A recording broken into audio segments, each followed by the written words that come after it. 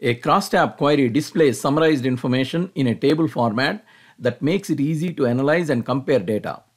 When you summarize data using a crosstab query, you select values from specified fields or expressions as column headings, and other columns or expressions are used to define the grouping criteria to form rows. The result looks like a spreadsheet. A crosstab query is expressed in SQL as a transform statement. Here is the syntax. Aggregate function. Expression created with one of the aggregate functions. It is the value you want to summarize based on the group data in one of the fields other than the ones used for column and row headers. Select statement. A select statement which contains a group by clause. Pivot field. The field or expression you want to use to create column headings in the query's result set. You can use the in clause to force the output sequence of the columns. Value 1, value 2 fixed values used to create column headings. SQL view does not limit the number of tables or queries that you can use as record sources for a crosstab query.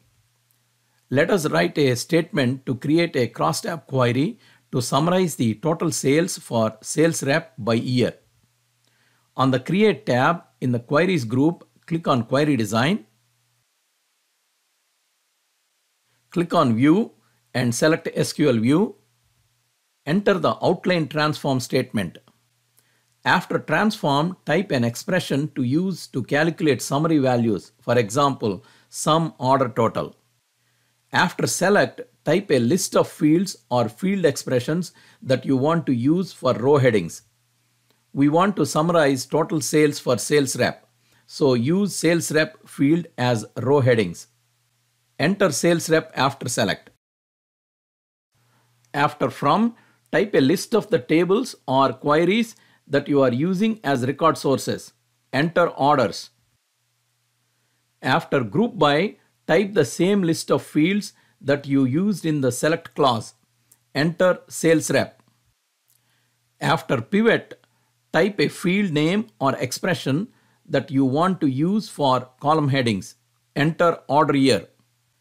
Pivot in SQL is used when we want to transfer data from row level to column level. Pivot turns the unique values from one column into multiple columns in the output.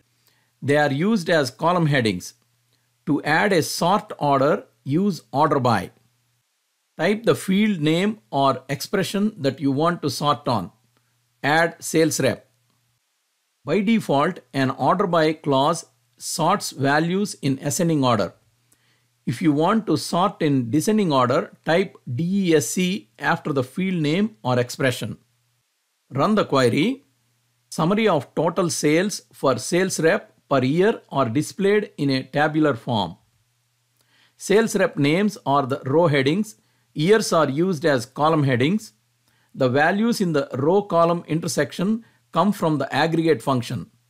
The value in the intersection of Luke and 2018 gives the total sales for Luke in year 2018.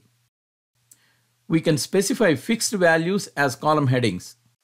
After pivot, type in followed by a comma separated list of values enclosed in parentheses to use as column headings.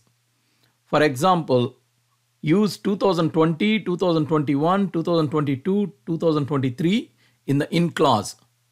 This will produce four column headings. Run the query. Four columns listed in in clause are returned.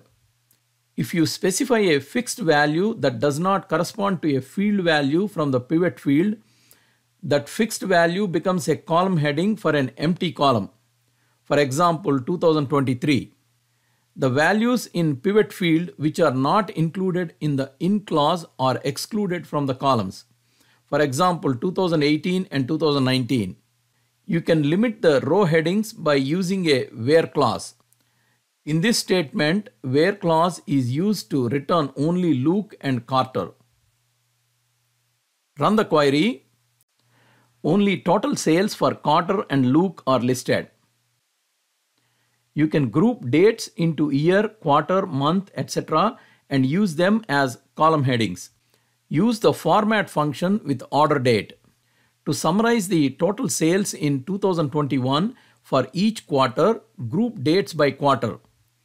Use the format function and use Q as format string. Use a where clause to filter records for year 2021. Run the query. Total sales per quarter in year 2021 for each sales rep are returned. Quarter numbers are returned by format function which are used as column headings. If you want to display more readable names, use concatenate to create an expression and use it in pivot clause. For example, concatenate order year and the text QTR followed by format function. Run the query. Now the columns are named in a more readable format. To get sales by month, change the format string to MMM. Run the query. Total sales per month in the year 2021 are returned. The columns are returned in alphabetical order. If you want the columns to be in a different order, use the in clause and list the column names in the order you want. Run the query. Now the columns are returned in the order they are listed in the in clause. You can write the select query that returns all the data that you want to use in the crosstab query and then use that select query as the source for crosstab query. Write a statement to create a crosstab query to summarize the sales of products by region. First write the select statement using the aggregate function. Run the query. This statement returns the total sales of products in each category by region. Records are grouped based on category and region. The sum function is the aggregate function used to get the total sales from the grouped values. Insert a transform clause before the select statement and move the aggregate function from the select clause to the transform clause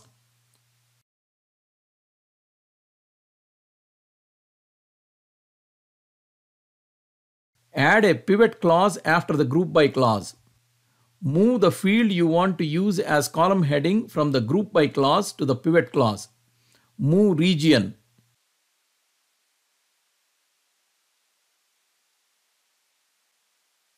Run the query. Summary of total sales of products per category in each region are returned. You can include the totals row meaning sum of all the values in the columns created using pivot. Add the aggregate function used in the transform in the select clause. Run the query. Totals row is included in the results. The value in the totals row is the sum of values from the columns created by pivot in that row. You can use more than one column or expression in the select statement to define the grouping criteria for rows.